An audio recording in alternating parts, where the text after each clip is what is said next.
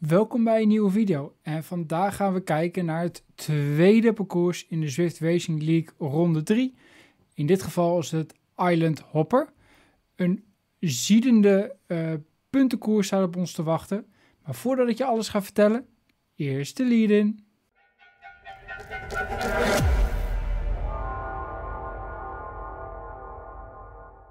En we trappen het inhoudelijke deel van Island Hopper af met de algemene informatie.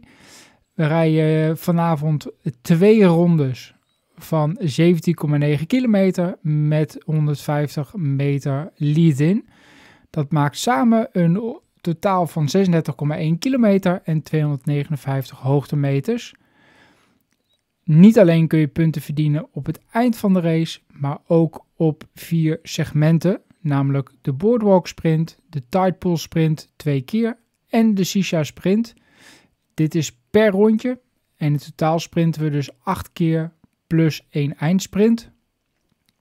Om het makkelijk te maken krijgen we in willekeurig, uh, wordt willekeurig drie power-ups uitgedeeld. Het, de helm, de bus en het veertje. De helm gebruik je om uh, sneller te sprinten op hoge snelheid. De bus gebruik je voor herstel ofwel door een peloton heen te sprinten. Dit is vooral heel handig als je first through segment uh, gaat, uh, gaat proberen te bereiken. En dit veertje is handig als je bergop gaat en je wil iets makkelijker uh, klimmen. Ofwel je wil in de aanval trekken. Dit zou bijvoorbeeld erg handig zijn tijdens de Shisha sprint. Die, nou ja, die te zien is na, een, na de grootste heuvel in dit parcours. Qua fietskeuze zou je kunnen denken aan Aero ofwel uitgebalanceerd, maar daar later meer over. Iets waar ik nog wel aandacht aan wil besteden is het, punten, het puntenverloop. En dat zie je hier. Dit is op basis van een team eh, van zes eh, renners. 25, een kleine 25% eh, wordt maar op de finish gehaald. Dus het merendeel haal je echt op die acht segmenten in totaal in de race een ruime 45%, 46% uh, aan first at line. Dus wie als eerste zijn wiel uh, of zijn of haar wiel over de, over de meet heen drukt van het segment. En uh, nou ja, 28,5% voor de first to segment. Dat is degene die het segment als snelste heeft afgewerkt. FEL krijg je 8 keer uitgekeerd. En de FTS is, zijn het dan de 10 snelste tijden op een bepaald segment. Je kan er dus ook meerdere keren inkomen. En als het hele team goed zijn best doet, zou één team een heel segment kunnen ownen. Dus uh, ook daar moet je rekening mee houden. Goed, dit uh, was hem voor het algemene gedeelte. We gaan nu snel door naar de fietskeuze. En we gaan door met de fietskeuze.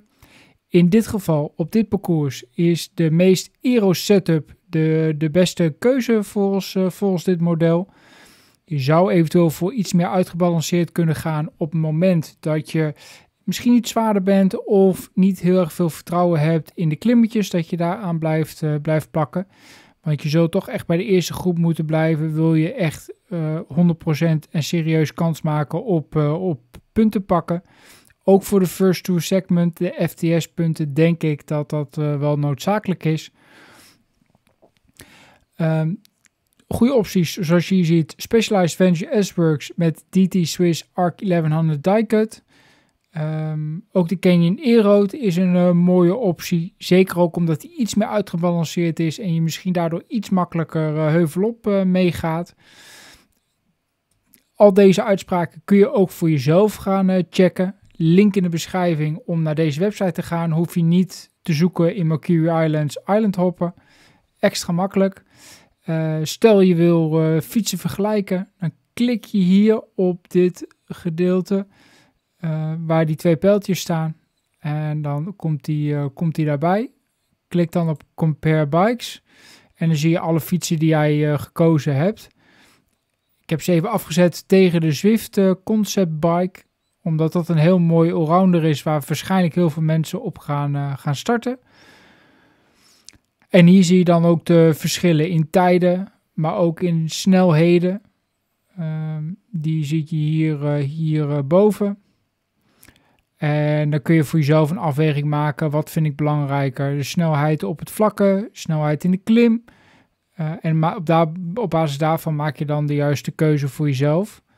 Ik ga in ieder geval testen met de Specialized Vanish S-Works, omdat, ja, omdat dat toch in de sprint het, uh, het handigste uitpakt. Uh, maar daar hebben we de zondagochtend voor. Voor nu gaan we naar, het, naar de verkenning van het rondje. En we zijn vertrokken. Hierbij is het belangrijk dat je goed van voren zit, omdat je binnen twee of anderhalve kilometer heb je het eerste segment al uh, te pakken, zoals je ook in de rechterbovenhoek uh, kan zien. En daar fiets je nu naartoe. Daar worden de eerste FEL en FTS uh, punten verdiend.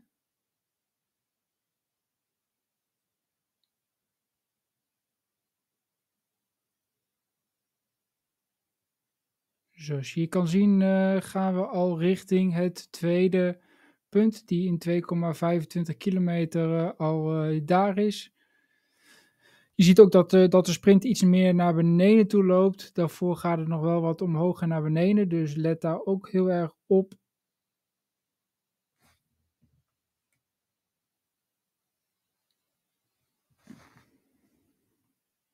Soms lijkt dat zand te vertekenen. Hier heb je het segment alweer. Full gas.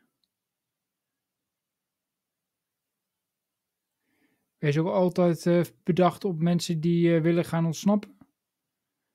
Want de sprinters die zijn moe en dan uh, klap je er gewoon vol overheen. Hier gaan we een stukje omhoog op een 270 graden bocht. Ook daar moet je oppassen. Al is het gelukkig maar van korte duur.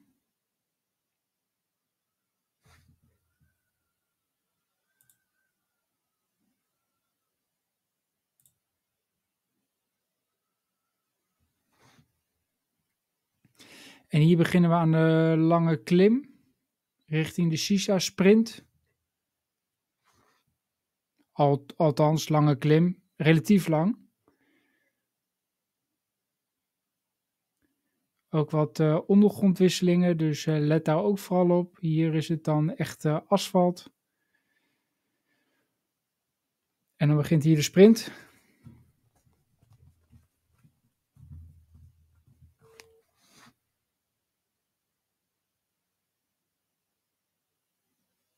Afdaling. Sommige mensen zullen hier herstellen, andere mensen zullen hier heel snel terug willen komen.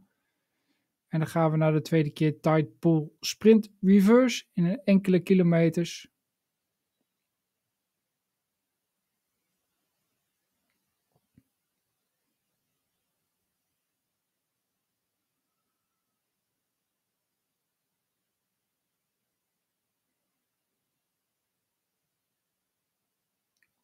En ook hier moet je rekening houden met uh, uh, na de sprint moet je rekening houden met uh, mensen die nog willen uitvallen of die een sprint proberen te ontlopen. Die dan uh, het ruime sop kiezen. Wat op zich best succesvol kan zijn als iedereen acht keer heeft moeten sprinten of submaximaal heeft moeten sprinten.